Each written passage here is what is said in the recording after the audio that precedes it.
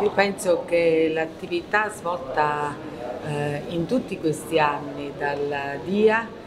è un'attività assolutamente importante per il rilancio del Paese.